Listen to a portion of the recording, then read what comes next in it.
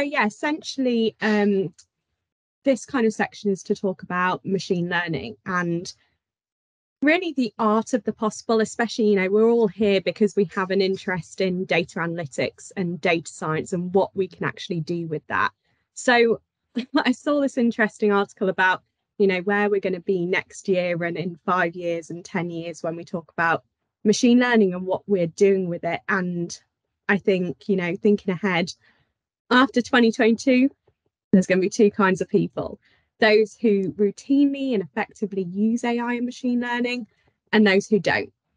And to put it nicely, those who do embrace AI and embrace machine learning are going to be equipped with this almost superhuman productivity. You know, there's so much potential that we can unlock by using computers and help or using them to help us in our day-to-day activities. You know, how can we drive productivity? How can we drive change? How can we get the best results possible in the most efficient and effective way? And there's so many emerging technologies that we can use that are open source.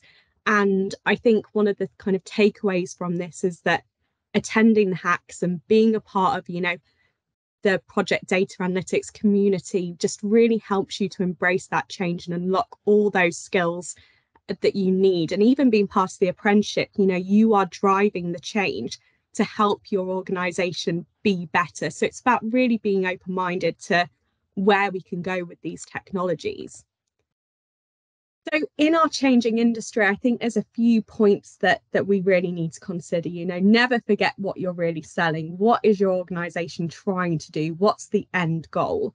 You need to be willing to adapt. Those who aren't are going to miss out on all the amazing potentials of AI and machine learning and, and data science. And the client driven approach always wins. So change is inevitable. You know, we have to be open minded. We have to embrace all these new technologies that are out there. And even if you're kind of on the fence and you're thinking, oh, I like machine learning, I like data analytics, but I'm just not sure how to tap into that, you're in the best place possible. You know, especially with the apprenticeship, if you're thinking, you know, what can I do? How can I gain these skills to really push those boundaries? Then this is the right place for you to be. So we just have to be open minded and embrace this change. And I think um, the blockbuster versus Netflix example will always be one that's quite predominant. You know, I used to love going to Blockbuster. It was a great Friday night for me, going to Woolworths to get my sweets, and then I go to Blockbuster back in the day. so, yeah, we really have to be aware of these kind of case studies and how Blockbuster were, were very limited. You know, they had this business model which wasn't working and they were not receptive to change. They were not receptive to where the industry was going and, and what they could do to best themselves. And Netflix were doubted at the beginning for, for, for a very long time. You know, no one saw the future of, of online streaming and um, all the cloud capabilities. So Netflix kind of took this approach where we need to change the way we're doing things to keep up with you know our customers and keep up with the way the world is going. And now they're hugely successful you know one of the biggest companies really in terms of entertainment. So it really is about being open minded to what we can do where we can go.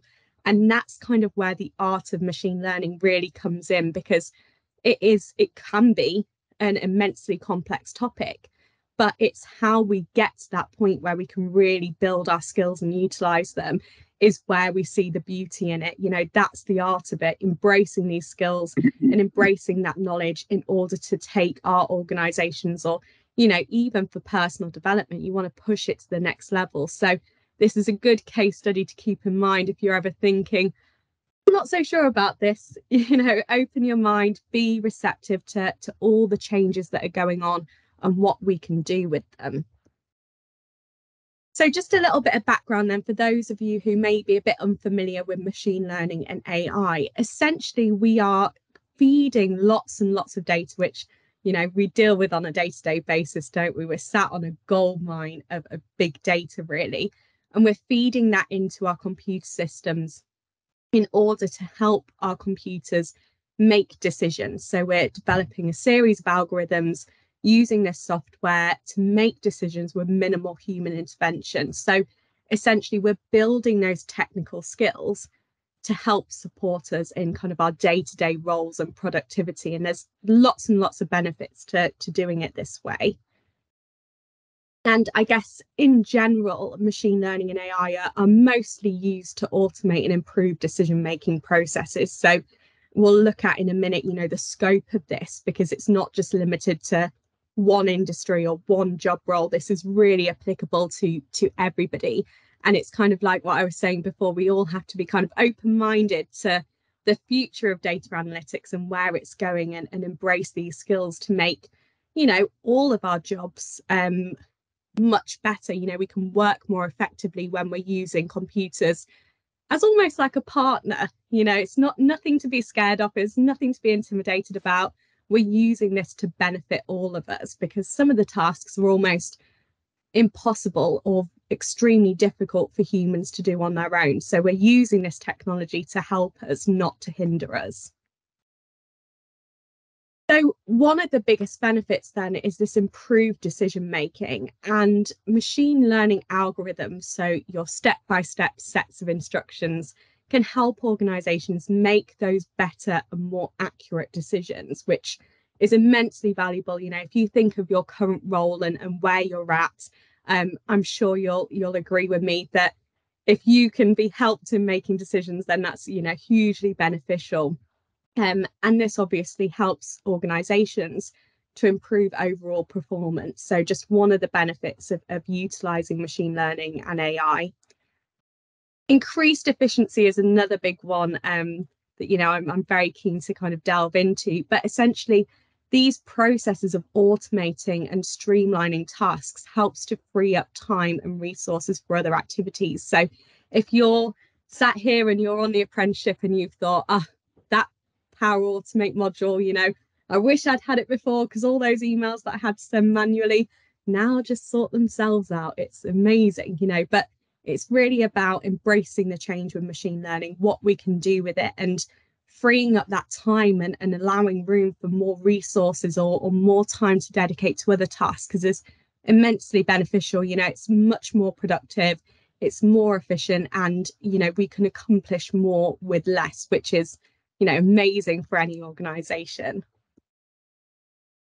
Enhance customer service. So essentially machine learning algorithms, um, especially when we look at sentiment analysis. So um, really digging into customer feedback, you know, giving that textual data a score for if it's positive, neutral, or negative, or using other natural language processing techniques can really help us dig into that textual data. So, for example, customer data, and really help us provide those personalized recommendations and support. So, essentially, we can use machine learning algorithms to help build that brand loyalty and that overall customer experience, which I think is critical for any organization. You know, we, we want the best results. How can we do that without having somebody manually go through all the textual data? You know, that'd be a nightmare. you imagine one person just sat reading all the reviews. Um, we can help or use machine learning to do that much quicker and more effectively. So um, customer service and enhanced customer ex- experience and service is really something that machine learning algorithms can help us achieve. And improve prediction. So this is another big one that I think, especially like so, if you've been on the apprenticeship, you'll know that that predictive analysis is really important for lots of different um, organizations across many different industries and also for many different roles. So essentially, we can use predictive analysis using machine learning algorithms to make accurate predictions about future events. So there's lots and lots of scope. Um, you know, whether you're looking at financial data, whether you're looking at how successful a project may be in the future, there's lots of scope to help organizations prepare for potential challenges and opportunities. And essentially, one of the best things about data analytics is the ability to make those really informed business decisions. And machine learning really plays a crucial part in allowing us to access those decisions in a way which humans can't. So we've got to embrace it. It allows for more pro- productivity and allows us to make those predictions that might have gone missed if you had a human doing it as well. Savings. So you'll all love this one. We love to save a bit of money, but essentially by automating and streamlining our tasks and processes, machine learning essentially allows us to reduce labor costs and, and other expenses. So we're using these machine learning algorithms, we're embracing this technology, which is ultimately going to save us in the future. And, and there's so many different technologies out there, which we'll have a look at, that are open source, you know, they're free to use. So we have to embrace it, we have to build those skills in order to help our organizations be more productive and get better results. And everyone loves to save a bit of money, so it's always a bonus. So, a couple of examples there of where um, machine learning has been used in some really beneficial ways. These are a couple of, um, well, I'll show you another example, uh, which is very construction based. But I always find it, you know, immensely intriguing how different industries use machine learning um, to make these incredible decisions. So, this is an example of um, deep learning, so a type of machine learning um, that's made it possible to reliably detect, which is important, we don't want it to be unreliable, um, a wide variety of, of protective equipment on a construction site. So you can see here from the image, it can detect hard hats, um, high visibility jackets, ear protectors, and so forth. So the more training this model has, the higher the capacity for AI to identify safety equipment or the absence of it will only grow. So we can see that we have quite an effective algorithm here that's detecting that equipment. So hugely beneficial. You don't have to have somebody walking around the construction site, you know, checking to see if somebody's got the hard hat on. AI does it for us. So it saves a lot of time, um, saves that kind of manual labor of somebody having to do that and, you know, is just cost effective as well. So it's amazing the technologies um, that are out there to support us. And another one, a kind of similar one, um, which I find really interesting, the infrastructure asset inspection. Can you imagine somebody kind of manually walking around and having to identify all the cracks and, you know, broken items in, a, you know, a construction site or in designing architecture? It's incredibly hard to achieve. And this is kind of where I'm highlighting that machine learning can help support us and, you know, get those amazing results. So, um, human assessment, really, if you're just looking from the naked eye, has a tendency to be inconsistent and unreliable, which is obviously not what we want, especially, you know, if you're looking at the construction industry as a whole, you want it to be safe, you want it to be productive, you want it to be reliable. But computer vision and machine learning helps support human inspectors. So we're not saying, you know, take away those roles or anything like that, or the, the classic case of robots taking over, um, which is, I know, a big argument when we think about machine learning. Um, but it's there to support us in making more objective assessments, which is, you know, immensely valuable, saves a lot of time and gives you the best results possible. And just some other examples then of where we can use construction and machine when machine learning and, and some types of projects that we could look at. And if you're an apprentice and you're sat here thinking of some project ideas, these might, you know, spark some inspiration, which would be really good. But, you know, analysis of cost data to improve cost estimation and project planning is a viable project. Um, analysis of safety data to improve safety on job sites and using spatial analysis to identify potential risks and hazards on a job site are all very viable projects. So there's lots and lots of scope, um, you know, within the construction industry of where you can use predictive analysis, machine learning, AI to help improve that productivity and get those best results. And if you're, thinking, I'm not in construction, so that is irrelevant to me. There are some um, ideas here of projects that you could have a look at, you know, analysis of sales data to identify trends and improve marketing strategies is a really good one. Um, analysis of financial data to identify patterns and improve decision making.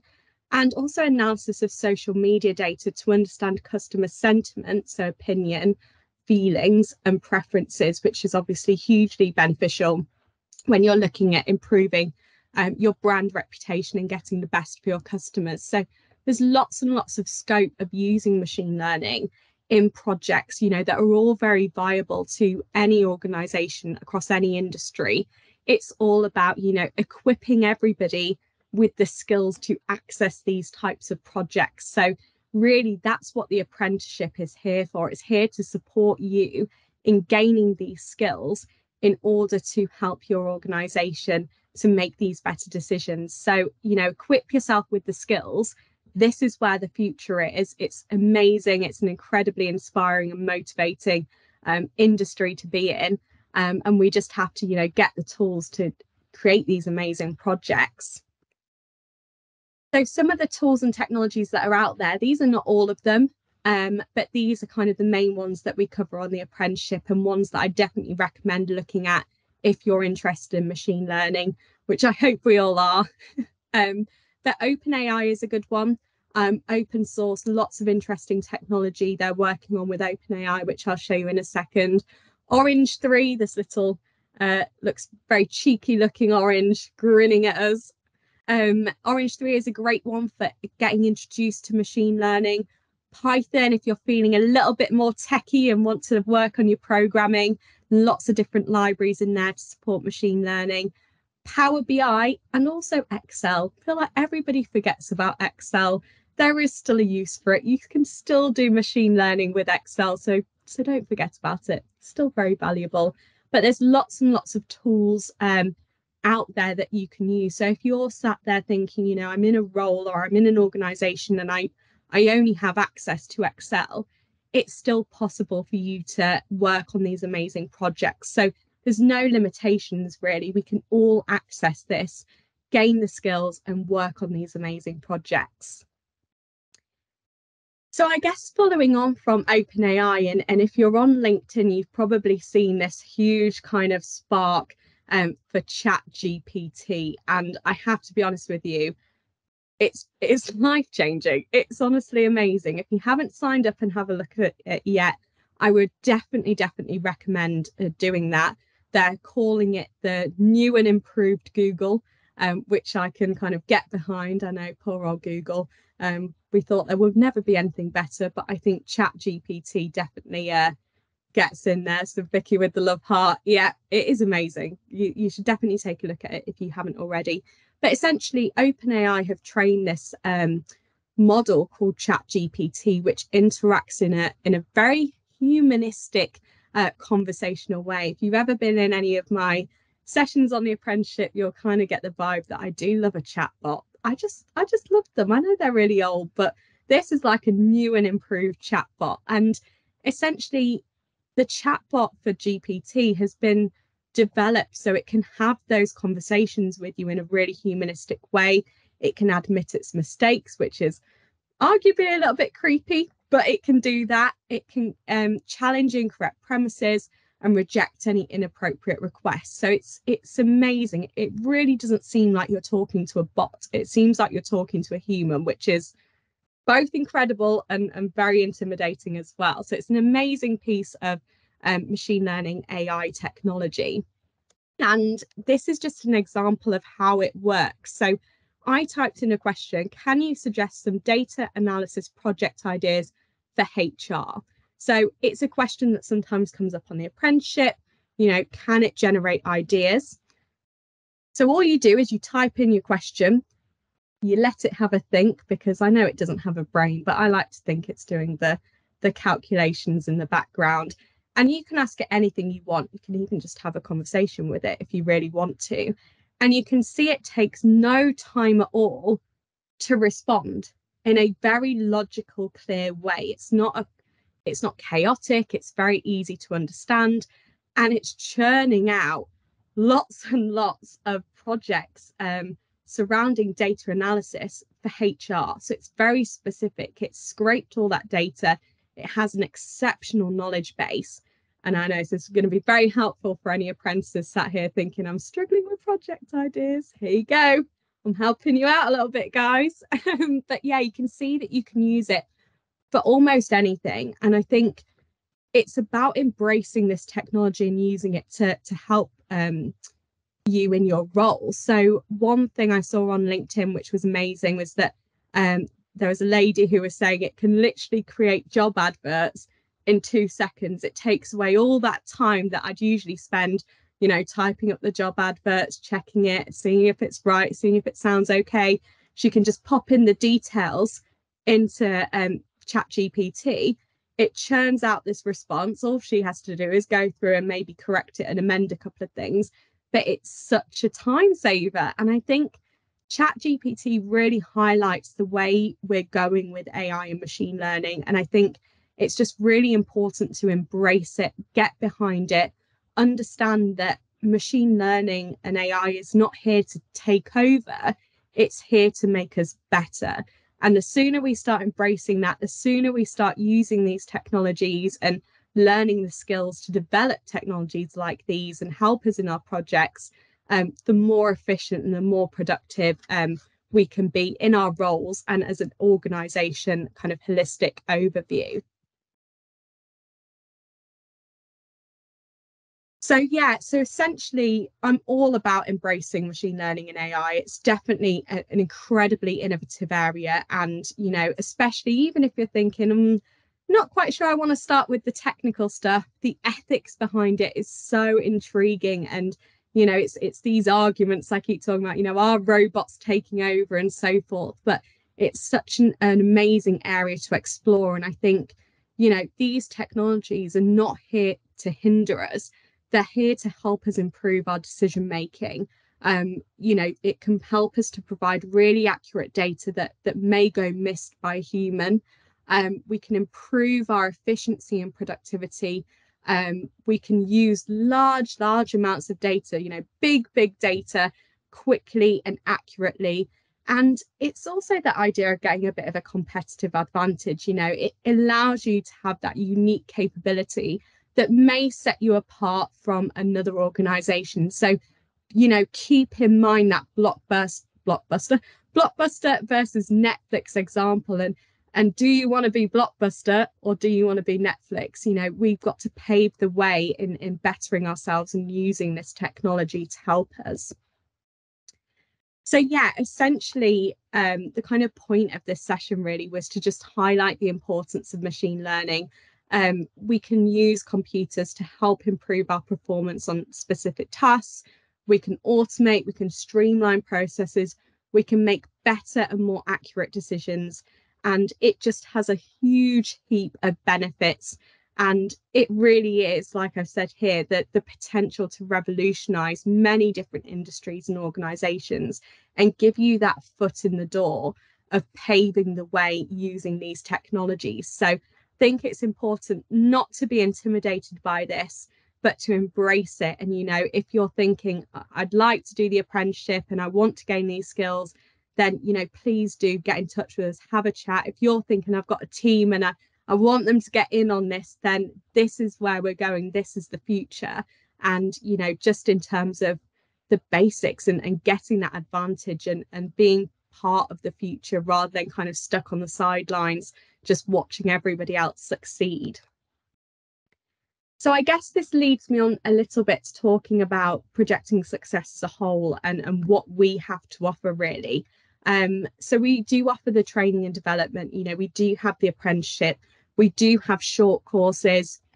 If you're interested in sending, you know, your team on a Power BI intensive course or, you know, looking at machine learning possibly, then we can offer that as well as kind of the more technical side and data consultancy um, with our incredible tech team. So not only can we help you with develop your solutions, um, but we can also help you with your training. So definitely open to lots of opportunities here.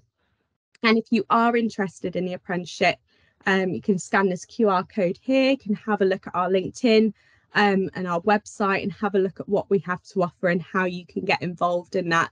Um, like I said, it definitely is the future, and these skills are are immensely valuable. So learning them now will will set you apart. You know, you'll be part of that change. You'll be part of that future surrounding data analytics, and um, it's better to do it now than get stuck and and leave it for later when you'll be forced to do it. So do have a look at this um, and get involved.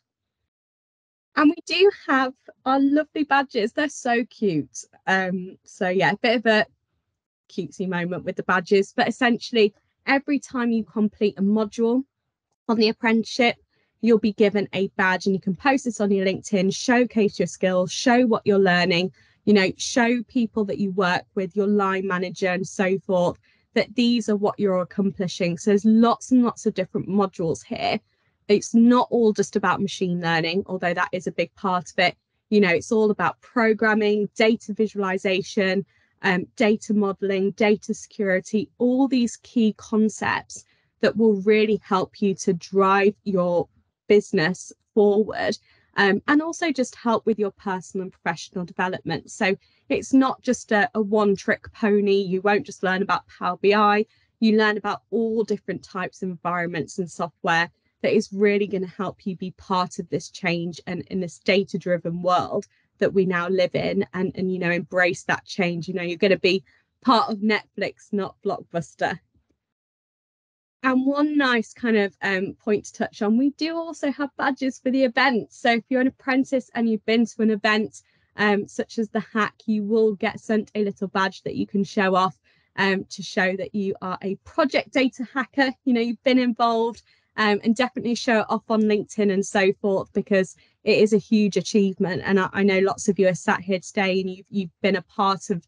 the most recent hack and, and taken part in those challenges. And I think it's it's worth noting it's just such an amazing achievement to go to these events and to really practice your skills and, and network and work with other people and you know you should feel immensely proud of yourself for for developing these solutions and being part of this data driven change so yeah huge pat on the back to everyone who's kind of attended the hack um, and you know developed those solutions.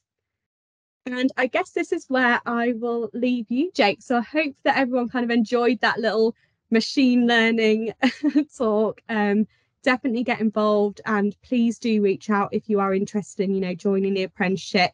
Um, and yeah, hope I see you there.